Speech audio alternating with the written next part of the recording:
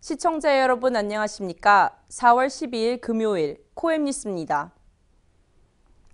미국 상원이 지난 11일 총기 규제를 강화하는 내용의 법안에 대한 본격적인 토론을 시작했습니다.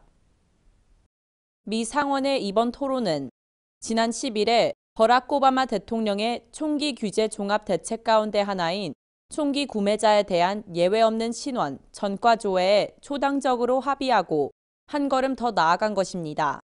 상원은 이날 전체 회의를 열어 이 법안에 대한 토론을 개시할지를 표결에 붙여 찬성 68표, 반대 31표로 가결 처리했습니다. 상원은 전날 합의된 대로 총기 전시회나 인터넷상에서 이뤄지는 거래를 포함한 모든 총기 구매자에 대한 전과 조회와 함께 학교 안전과 관련한 투자 확대, 불법 총기 거래에 대한 처벌 강화 등도 법안에 포함할지 논의할 방침입니다. 해리 리드 상원 민주당 원내대표는 이제 어려운 일을 시작했다. 우리는 범죄자나 정신이상자의 손에 총기가 들어가지 않게 모든 노력을 다할 책임이 있다고 말했습니다.